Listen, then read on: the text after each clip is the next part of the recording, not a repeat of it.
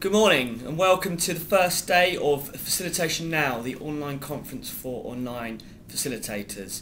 Um, over the next three days we'll be having hopefully lots and lots of really interesting discussion about online facilitation, uh, particularly related to the Communities of Practice platform, but um, but related just to facilitation online in general. And I know we've got people from well all around the world with us over these next three days. So today is day one, and uh, just a quick brief of what you can expect from today. Um, we're starting off with a couple of forums that are open.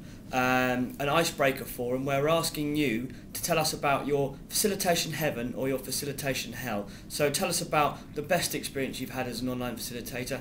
Tell us about the worst experiences you've had as an online facilitator.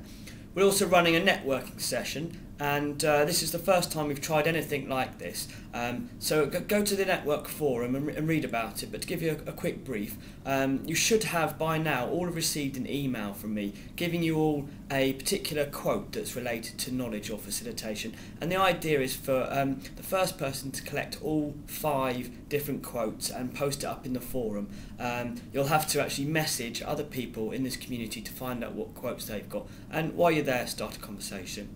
And of course, the big thing today is between two and four, uh, the uh, discussions around engagement. And we're going to be asking you how do you engage your, your community? How do you engage facilitators? Myself and the team here at the IDA will be online to take your questions and hopefully answer um, what you have to ask of us. But of course, we're, we, we don't know everything, and um, there's, there's lots of good practice out there. So that's about it for today. I hope you really enjoyed the conference, and uh, just leaves me to pass you over to my colleague Tawheed Alam quickly, who will declare the conference open. Thanks, Lawrence. Um, I'd now like to declare this Facilitation Now online conference open.